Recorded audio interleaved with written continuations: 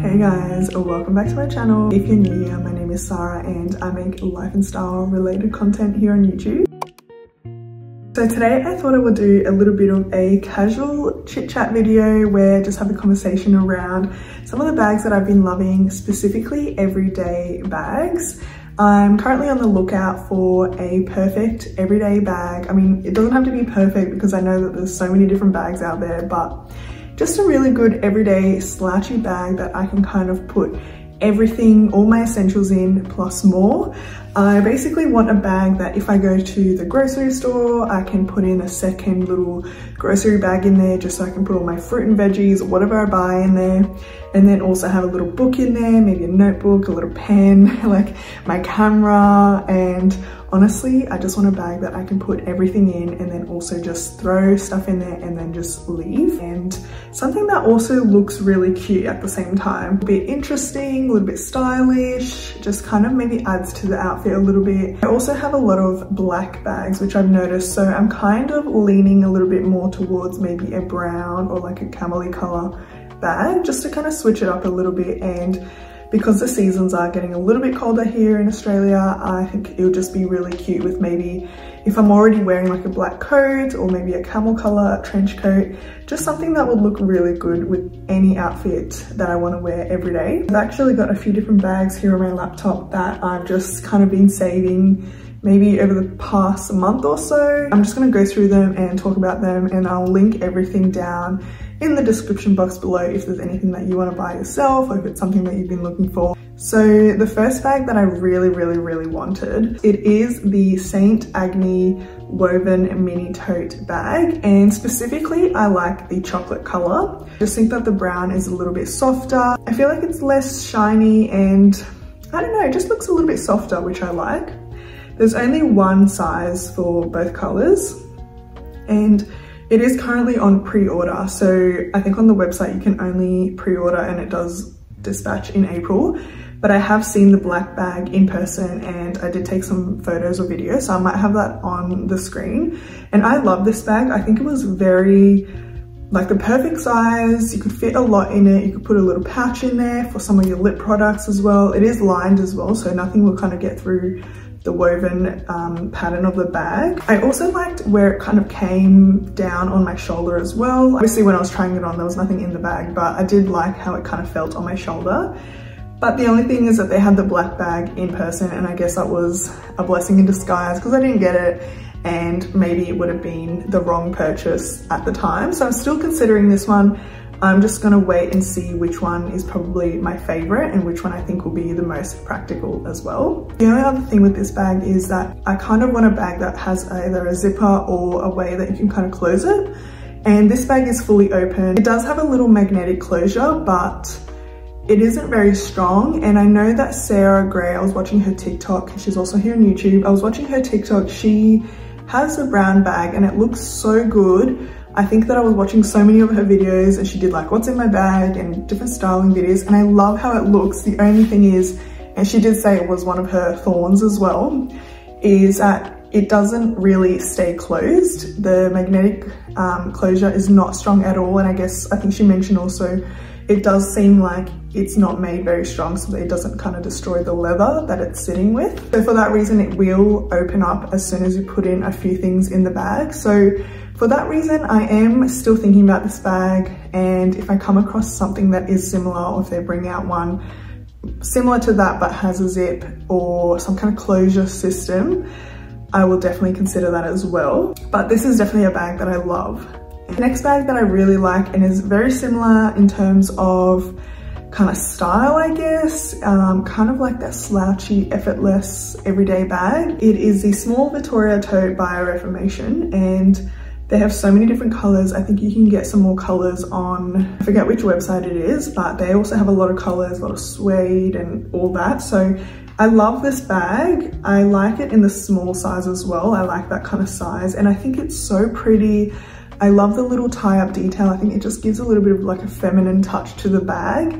Very cute. I love the black leather And I know I said I didn't want the black and so I would probably toss up between black, maybe the green. I know that they've got some kind of green color. I love this one, but for the same reason as the St. Agni bag, I I'm not so keen that it doesn't close up fully and that there's no zip or some kind of way just to kind of really keep it closed. I feel like you could, someone could probably still put their hand in there and still manage to open or if it's raining I feel like things would just get in there. The next bag that I found that I really love, it's a little bit different, not really exactly what I'm looking for but I thought it would be worth putting it in this video because I just think it would be such a nice everyday bag that fits quite a lot as well is the Hera handbag in suede grey and they've also got another colour as well.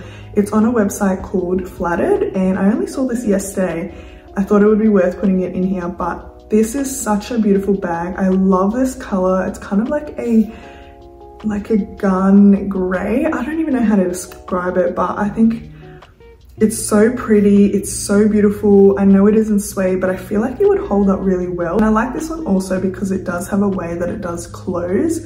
So it's not fully open and I like how they, I like how you can keep it on your arm or you can have it crossbody as well. But I don't know if it would really necessarily go over the shoulder and I think it is a bit more of a top handle crossbody type of bag but I really love this one and I thought it was very beautiful and definitely something I might consider. The next bag that I really like is the Naomie Hobo bag in brown from the website called Pedro.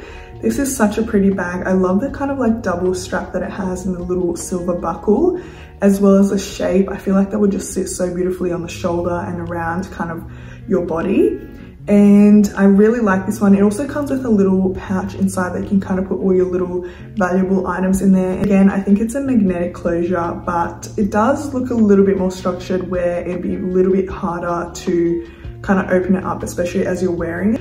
But this is definitely something I would be considering. It is so beautiful. It has, they've got it in the black and then they've also got it in a chalk color, which is kind of a textured bag as well.